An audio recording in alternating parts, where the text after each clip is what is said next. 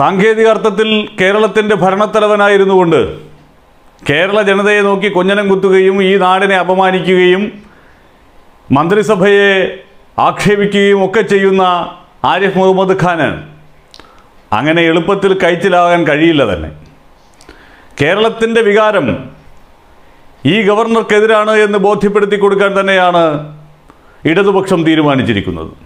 C P എമ്മിന്റെയും C P ഐയുടെയും സംസ്ഥാന സെക്രട്ടറിമാർ അപൂർവ മാത്രമായി സംഭവിക്കുന്ന ഒരു സംയുക്ത വാർത്താ സമ്മേളനത്തിലൂടെ ഗവർണർക്ക് കൃത്യമായ താക്കീതാണ് നൽകിയിരിക്കുന്നത്. ഭരണഘടന അനുശാസിക്കുന്നത് പോലെ സർക്കാരിന്റെ ഉപദേശകനായി മര്യാദയ്ക്ക് പ്രവർത്തിച്ചാൽ കേരള ജനതയുടെ പ്രതിഷേധങ്ങൾ ഏറ്റുവാങ്ങാതെ സ്വസ്ഥമായി വയസ്സാം കാലത്ത് അങ്ങ് മുന്നോട്ട് പോകാം. അതല്ല എങ്കിൽ സമാനതകളില്ലാത്ത ജനകീയ പ്രതിഷേധത്തിന് രാജ്ഭവൻ സാക്ഷ്യം വഹിക്കേണ്ടി വരുമെന്ന സൂചന തന്നെയാണ് ഇരു പാർട്ടികളുടെയും സംസ്ഥാന സെക്രട്ടറിമാർ നൽകിയത്. സംശയമൊന്നുമില്ല അക്കാര്യത്തിൽ. കേരള ജനതയ്ക്ക് മുന്നിൽ ഇതിനകം തന്നെ അദ്ദേഹം ഒരു കോമാളിയായി മാറിക്കഴിഞ്ഞു. ഏറ്റവും ഒടുവിൽ മന്ത്രിമാരെ പിൻവലിച്ചു കളയുമെന്നുള്ള ഭീഷണി മുഴക്കിയിട്ട് കഴിഞ്ഞ ദിവസം എറണാകുളത്ത് പോയി പറഞ്ഞത് താൻ അങ്ങനെയൊന്നും അല്ല ഉദ്ദേശിച്ചത്. അതൃപ്തി തോന്നിക്കഴിഞ്ഞാൽ അത് മുഖ്യമന്ത്രിയെയും ജനങ്ങളെയും അറിയിക്കും എന്നാണത്രേ. അങ്ങനെ ഗവർണർക്ക് അതൃപ്തി ഉണ്ടായിക്കഴിഞ്ഞാൽ ഇവിടുത്തെ മന്ത്രിമാരെ ആകെ പിൻവലിച്ചു കളയും കേരളം ആകെ അങ്ങ് ഇരുട്ടിലായി പോവും. ഗവർണർ ആരാണെന്നറിയാമോ എന്ന തരത്തിലൊക്കെ ഭീഷണി മുഴക്കിയ ബി ജെ പി നേതാക്കന്മാരൊക്കെ ഏതോ മാളത്തിൽ ഒളിച്ചിരിക്കുകയാണ്.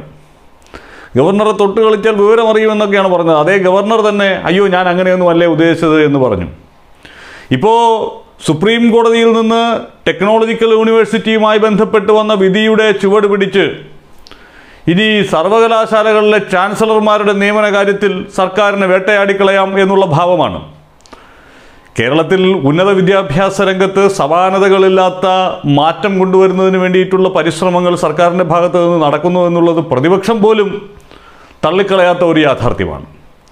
അത്തരത്തിലുള്ള പരിശ്രമങ്ങൾ ഒരു വശത്ത് നടക്കുമ്പോൾ ഇത്തരത്തിലുള്ള ലൊട്ടിലൊടുക്കും നൂലാമാലകളിൽ സർക്കാരിനെ തളച്ചിടാം എന്നാണ് ഗവർണർ ശ്രമം നടത്തുന്നത്. സ്വാഭാവികമായി നമുക്ക് ഇവിടെ എന്നല്ല എവിടെയായാലും വൈസ് ചാൻസലർമാരെയൊക്കെ നിയമിക്കുമ്പോൾ അതിനകത്ത് സർക്കാരിന്റേതായ ചില താല്പര്യങ്ങളുണ്ടാകും. പക്ഷേ അവരുടെ അക്കാഡമിക് നിലവാരം ഏത് തരത്തിലാണ് എന്നുള്ളതാണല്ലോ നാം പരിശോധിക്കേണ്ടത്. യോഗ്യതയില്ലാത്ത ആരെയെങ്കിലും പിടിച്ച് അവിടെ ഇരുത്തുകയാണെങ്കിൽ സ്വാഭാവികമായി പ്രതിഷേധങ്ങൾ ഉണ്ടാക്കാം. പക്ഷേ ഇവിടെ സംഭവിക്കുന്നത് അങ്ങനെയല്ല. എല്ലാത്തിനും ഉടക്കിടാൻ ശ്രമിക്കുന്നു. ഇതുവരെ നടത്തിയ പരിശ്രമങ്ങളെല്ലാം പാളി ആരിഫ് മുഹമ്മദ് ഖാന്റേത്.